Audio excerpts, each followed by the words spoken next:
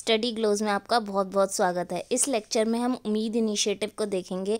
ये एक बहुत ही सही प्रोग्राम है जेनेटिक डिसऑर्डर्स जो हमारे न्यू बॉर्न बेबीज़ में हो जाते हैं, उन्हें कंट्रोल करने के लिए, उन्हें पहले से ही प्रिवेंट करने के लिए। वो कहा जाता है ना कि किसी भी चीज़ को होने से पहले रोक दो तो उसके उपाय के लिए हमें सल्यूशन नहीं खोजना पड़ेगा, उसमें टाइम वेस्ट नहीं करना पड़ेगा। बोलते हैं ना, prevention is better than cure तो उम्मीद इनिशिएटिव इसी पर बेस है। तो इसके बारे में करेंगे, आप मेरे साथ बने रहिएगा। देखिए, उम्मीद मतलब unique methods of management and treatment of inherited disorders देखिए, जो ये इनहेरिटेड बीमारियाँ होती हैं, ये आजकल बहुत देखी जा रही हैं हमारे शिशु में, हमारे छोटे बच्चों में। या तो वो बर्थ के दौरान या बर्थ से पहले ही उनमें होती हैं, जैसे कि ओबेसिटी डायबिटीज़ ये सारी बीमारियाँ। ये तो खैर एक जो उनका जेनेटिक डिसऑर्डर हो, उनका जो सीक्वेंस होता है डीएनए का, उसमें कुछ चेंज आ जाए तो जब ये उसके सीक्वेंस में चेंज होने से हो जाती है। लेकिन जो म्यूटिलेशन होता है, जो एक से ज़्यादा जेनेटिक डिसऑर्डर होने पे होता है, वो बीमारियाँ थोड़ी ज़्यादा एक तरह से हम उनको कह सकते हैं हम डेंजरस होती हैं राइट तो उसके बारे में बताएँगे, ये क्या है उम्मीद इनिशिएटिव तो सब कुछ इसका एम वगैरह डिस्कस करेंगे। देखिए, यूँ तो जो ये उम्मीद इनिशिएटिव है, ये हमारा मिनिस्ट्री ऑफ़ हेल्थ देख रहा है इसे, लेकिन जो मेन है, वो डिपार्टमेंट ऑफ़ बायोटेक्नोलॉजी देख रहा है तो कमेंट सेक्शन में आप इनके मिनिस्टर्स मुझे कमेंट सेक्शन में लिख कर बताएँगे। देखिए, जो हमारा उम्मीद इनिशिएटिव है और निदान केंद्र, दोनों ही एक तरह से, दोनों ही हमें लॉन्च किए गए हैं हमारे गवर्नमेंट गवर्नमेंट ने। देखिए, ये निदान केंद्र उम्मीद के अंदर ही आते हैं। मेन जो इसका फोकस है मेन जो इसके कंपोनेंट हैं, उम्मीद इनिशिएटिव के, वो निदान केंद्र से हैं और ये हैं कि गवर्नमेंट हॉस्पिटल्स में जो डॉक्टर्स हैं, वहाँ पर ट्रेनिंग दी जाए डॉक्टर्स को। तो तीन सालों में कुछ हम कहते हैं, कह सकते हैं कि एक साल में इसमें आठ डिपार्टमेंट होंगे ट्रेनिंग देने के लिए और एक सेंटर चार डॉक्टर्स को ट्रेन करेगा। तो आप लगा लीजिए एट फोर जा thirty two thirty two per year हम ट्रेनिंग देंगे तो टोटल थ्री ईयर्स में नाइन्टी सिक्स डॉक्टर्स को इस चीज़ की स्पेशल ट्रेनिंग दी जाएगी। ये जो प्रोग्राम है हम गवर्नमेंट हॉस्पिटल्स के माध्यम से इम्प्लीमेंट होगा बिकॉज़ गवर्नमेंट हॉस्पिटल्स में जो हमारे बहुत हर तरह का जो मरीज़ है वहाँ पर आता है। मेनली जो गरीब तबके से आता है, ठीक है तो उसका जो है, वो बीमार पैदा ना हो, उसमें इनहेरिटेड डिसीज़ ना हो, इस चीज़ को ये बात इंश्योर करेगी, ये प्रोग्राम इंश्योर करेगा। राइट इनसे क्या है कि जो साइंटिफिक टेक्नोलॉजी है या मॉलिक्यूलर मेडिसिन है, उसे रेगुलरली यूज़ किया जाएगा, जिससे universally universal health coverage achieve कर कर ली जाए। है ना? गरीब को भी हर चीज़ का लाभ मिले ठीक है? जो महँगी जो एक्सपेंसिव हमारी जेनेटिक डिसीज़ को कंट्रोल करने के लिए जो मेडिसिन हैं वो सब उसे मुहैया कराई जाए। देखिए इससे इसका एम ये है कि हम स्किल्ड क्लिनिशियंस ह्यूमन जेनेटिक्स में रिड्यूस करें। जैसा कि मैंने आपको बताया कि आ, हर डिपार्ट आठ डिपार्टमेंट होंगे एक तरह से आठ सेंटर बनाए जाएँगे एक हर एक सेंटर एक साल में चार डॉक्टर्स को ट्रेन करेगा सिक्स मंथ की ट्रेनिंग होगी ठीक है? तो इस हिसाब से हम बहुत अच्छी ट्रेनिंग उन्हें देना चाह रहे हैं, इसलिए ही हम साल में कुल थर्टी टू डॉक्टर्स को ट्रेन करना चाह रहे हैं। यूँ तो हमारे जो इंडिया है, वहाँ पर इस चीज़ का काफ़ी स्कोप है जेनेटिक्स वाला काफ़ी अच्छा है बट नंबर जो सेंटर्स हैं, जो केंद्र हैं, वो कम हैं। अभी भी मैं आपको बता दूँ, पाँच निदान केंद्र जो हैं, वो इस्टेब्लिश कर दिए गए हैं, जब मैं ये लेक्चर आपको बना रही हूँ, ठीक है?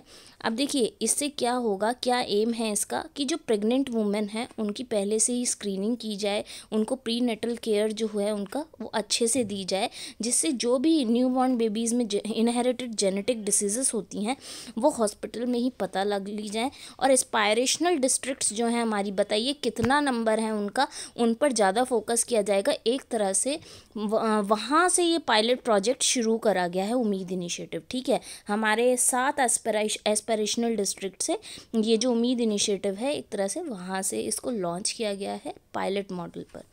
अब देखिए, इसके आउटकम्स ये रहेंगे कि पेशेंट केयर सर्विसेज़ जो जेनेटिक डिसऑर्डर्स के लिए हैं, उन्हें जो 80 परसेंट रेयर डिसऑर्डर्स होते हैं, उनके लिए ट्रेंड मैन पार जैसे कि मैंने बताया, उसे डेवलप की जाए, ठीक है? और जो हमारे एक्सपेंसिव खर्चे पर बहुत ज़्यादा खर्चा होता है, उसके लिए जो दवाई है वो दी जाए। ठीक है अवेयरनेस फैलाई जाए जेनेटिक डिसऑर्डर से रिलेटेड राइट और इसके बेनिफिशरीज होंगे सत्तर हज़ार प्रेगनेंट वुमेन और पैंतीस हज़ार न्यूबॉर्न बेबीज़ पर ईयर ठीक है तो जो उम्मीद इनिशिएटिव है, उसको हर डायग्नोस्टिक फैसिलिटीज़ तक पहुँचाया जा सके, इसका ये एम होगा।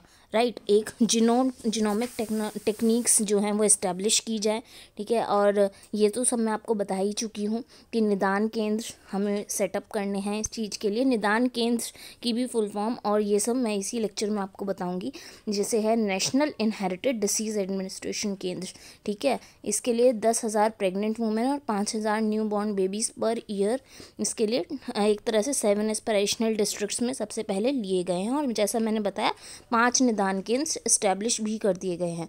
अब देखिए, इस प्रोग्राम को क्यों लाना था? क्यों इम्पोर्टेंट था? देखिए, हमारा जो इंडिया है अर्बन एरियाज़ में ज़्यादातर हमने देखा है कि हमारे जो नॉर्थ नॉर्थ वाला पार्ट है एशिया और अफ्रीका का, वहाँ पर जो मैरिजेस होती हैं, वो कज़न्स के बीच में हो जाती हैं। तो ये एक बहुत ज़्यादा बड़ा मुद्दा है कि उन लोगों में जो, ये जो डिसीज़ होती है, ये जो जेनेटिक डिसऑर्डर होता है, ये काफ़ी देखा गया है। इनहेरिटेड डिसीज़ काफ़ी देखा गया है।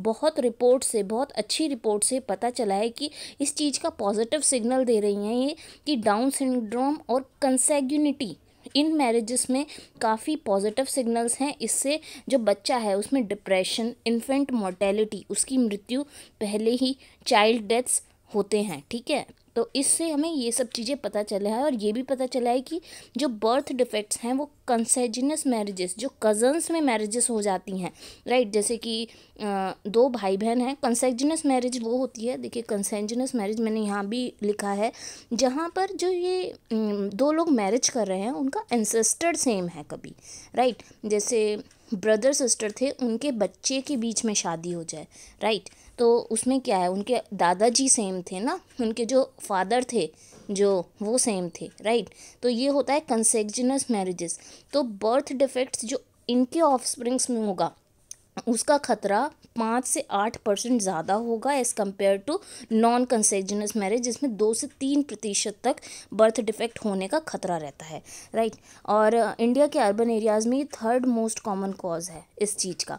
बिकॉज़ जो हमारा नॉर्थ पार्ट है एशिया और अफ्रीका का, वहाँ ज़्यादा तवज्जो दी जाती है, बीस से पचास परसेंट तक जो मैरिजेस होती हैं, वो ज़्यादातर जो सेम का मतलब ये कज़न्स मैरिज उसको सबसे पहले प्रिवलेंस देते हैं राइट क्यों देते हैं? क्योंकि उनका जो सोशल इकोनॉमिक स्टेटस है, वो ज़्यादा अच्छा नहीं है, वहाँ इलिट्रेसी है, या वो रूरल गाँव के इलाके में रहते हैं, है ना? तो इतनी नॉलेज नहीं है तो मैंने जैसा बताया अवेयरनेस भी फैलाई जाएगी इस चीज़ को लेके राइट अब देखिए, जो ये जेनेटिक डिसऑर्डर है, इसके बारे में तो बता ही चुकी हूँ कि डीएनए सीक्वेंस में कुछ चेंज हो जाना। नॉर्मल सीक्वेंस से कुछ अलग हो जाएगा जब भी जेनेटिक डिसऑर्डर होगा।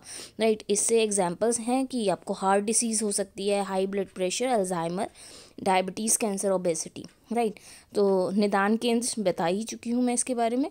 तो इस बारे में हम सब कुछ डिस्कस कर चुके हैं। अगर कोई भी दिक्कत है कमेंट सेक्शन में पूछ सकते हैं, या फिर मेरी फेसबुक प्रोफ़ाइल है राशि सिंगल के नाम से, आप वहाँ भी कोई भी क्वेरी है, पूछ सकते हैं।